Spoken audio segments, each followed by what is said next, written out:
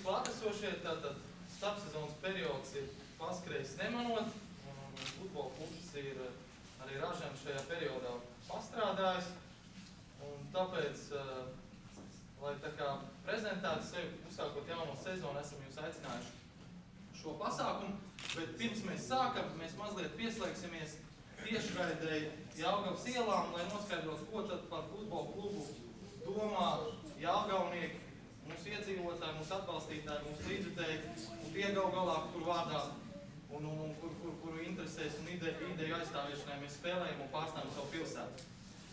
Pieslēdzamies!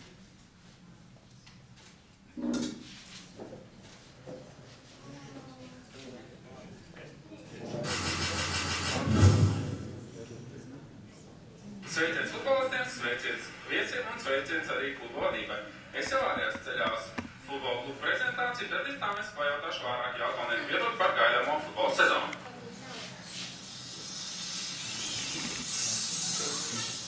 Jā, vai jūs zināt, kas ir futbola klubs Jelgava? Ir dzirdēts. Uh, kā jums liekas, kā klubam klāsies nākamajā gada čempionātā, šī gada čempionātā? Nu, jādomā pozitīvi, savādāk mēs varam domāt. Ko jūs varētu novēlēt futbolistiem? Nu, tikai uzvaras. Labi, paldies. Labdien! Ko jūs zināt par futbola klubu Jelgava? Nu, nedaudz zinu. Nedaudz, jā. Spēlē Zem Malačī, Kindrevičs Kārlis, Moldova ar iestāšanos apakaļā vislīgā. Ko es varētu šodien novēlēt? Tikai veiksmi, veiksmi uz priekšu. ar katru. Vai arī pats grasties apmeklēt mājas spēles? Nu, tuvākās jā. Labi, paldies. Paldies. Vai zināt, kas ir futbola klubs Jelgava? Jā, jā, Esat bijuši arī spēlē? jā. Jā. Ir izstāsties jaunā futbola sezona. Vai taisies uh, šīs sezonas maču vasarā? Um, iespējams. Vai cik 18. martā viņi spēlēs par futbola klubu Vēstus? Nē, es nezināju. Un būsi? Nezinu. Labi. Uzvar. Jā, paldies. Futbola klubs Jelgava. Esam dzirdējuši Esat arī apmeklējuši spēles. spēles. Nu, vietreiz, jā. Viņš bija. Līdz sāksies jaunās Latvijas čempionāts, ko es varētu Jelgavniekiem novēlēt? Lai viņi vīrē čempionātu uzdod kalsā. Sveiki, ko es par futbola klubu Jelgava? Futbola klubi jāliek. Futbolisti baigi forši. Ko es par futbola klubu Jelgava? ka bija izcēlušies ne, nesen atpakaļ diezgan labi nospēlējām Latvijas čempioniem un arī dabūja ceļu zīme uz daudz prestižāku pasākumu. Vai šogad ta- ta- taisāties apmeklēt klubu spēles? Jāskatās, kā ar laikiem būs, kā strādā. Paldies. Ko es zinu par futbola klubu Jelgava? Nu, principā daudz ko zinu. Sakot, viņas arī spēlē. Nu, noteikti, jā. Jo visi spēlē klubā, tā kā Jau 18. martā viņam ļoti svarīgi spēle pret Ventspili. Ko jūs varētu čekiem novēlēt? 8. martā 18. novēl, protams, veiksmi un uh, vinnēt. Tā ir ļoti svarīga spēle. Paldies. Čeki, ko es zinu par futbola klubu? Ko? Viņa bija vienreiz pie mums jābūt 4. pamatskolā atbraukuši skolu. Viņiem līdz sāksies futbola sezona, ko es varētu viņam novēlēt nākamajā sezonā? Lai veiks, jā, veiks, lai uzvar. Labi, paldies. Futbola klubu Jelgava. Tur ir neko. Ko zinu par futbola klubu Jelgava? Nu, to, ka viņam ir kāda reklāma kraklos. Kā tam liekas, kā viņš šo- šogad aizies? Viņam ir labi. Novēlēšana. Nu, lai veids vēl labāk. Kā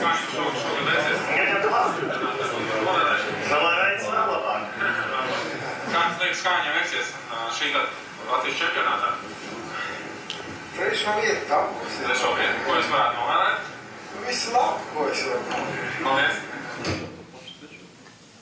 Ko jūs zināt par futbola klubu Jelgava? Sakot līdz futbolam. Jā, es sakoju, viņš notiek, tad, kad bija pirmā spēle es, uh, Zemgals Olimpiskā centrā, es biju uz atklāšanu un redzēju, kā viņi Angliju klubu spēlē, vai ne? Man ļoti patīk viņi, vai ne? Nu, žēl, ka biļetes ir tik dārgas, vai ne? Vilnius jau tikai Latvijas tad maksās čempionāta spēlē. Ā, Un tad es neesmu lietas kursā, tad es neesmu lietas kursā. Pārbaudīšu, uzzināšu, vai ne? Un bet būs patīkami pārsteigts, būs patīkami. Es par katru spēli priecājos, par katru, ka viņi paliek piektā vietā, vai ne? Nu, lai viņam stāv klāt. Treneris ir labs, vai ne? Un es domāju, spēlēt arī paši puiši, vai ne? Ko es varētu novēlēt viņiem? Tūlīt sāksies Latvijas čempionāts jaunā sezonā. Ko es varētu novēlēt? Tā turpināt. Labi, paldies. Tā. Nē,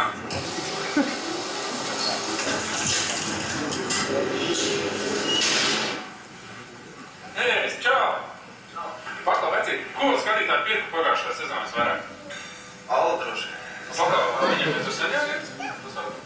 Nē, kāds 5 minūtes video skatās. Oi, labi, es vienu, davai.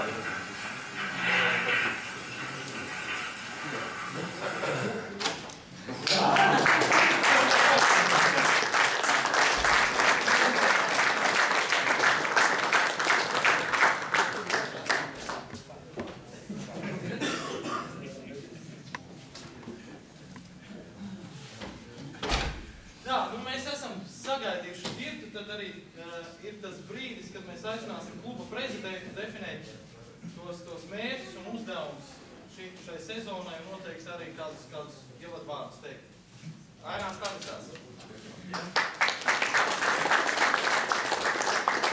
Paldies visiem, kas esat ieradušies, gan futbolistiem, gan futbola kluba eh, darbiniekiem, vadībai. Paldies pilsētas eh, paldies līdzutējiem, jo eh, futbols jau nesastāv tikai no futbolistiem, no treniņiem, no bumbas vārtiem, bet tiešām kopā no mums visiem. Un man ir tas gods un pienākums pasludināt šīs sezonas mērķi, Mēs ilgi, ilgi domājām, un tā arī ļoti daudz neizdomājām. Bet galvenais mērķis mums ir sportiskajā ziņā eh, sasniegt augstākus rezultātus nekā pagājušā sezonā. Bet sapnis, protams, ir atkal spēlēt Eiropas līgā.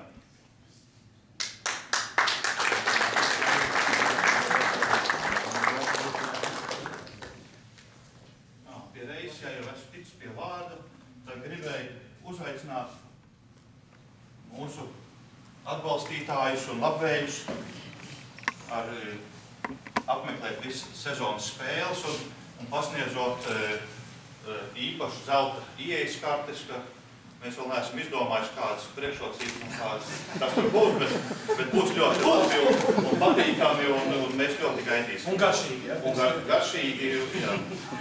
Jā, paldies Jelgavas domas priekšsēdētājiem Antim Grāviņa kungam.